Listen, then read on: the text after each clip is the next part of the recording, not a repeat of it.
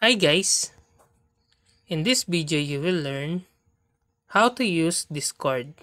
Well, Discord is a free communication platform that allows for text, voice, and video chat as well as a sharing screen. You can create your own server or join existing ones. To get started, go to your browser, then search for Discord.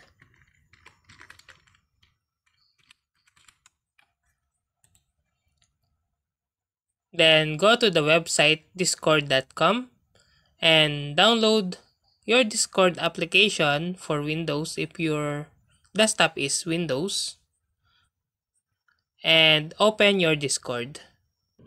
Now sign up for an account.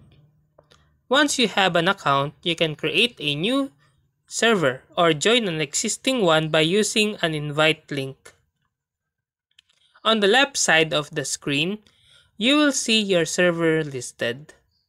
Inside of each server, there are channels, which are used to organize conversations by topic. You can create new channels by clicking the plus sign next to the server name and selecting either text channel or voice channel. To invite someone to your server, go to the channel you want to invite them, then click on the arrow down at the upper left corner and click invite people. This will generate a link that you can share with others. You can also set permission for the invite link, such as how long it is valid and how many people can use it. And that's how to use Discord for beginners.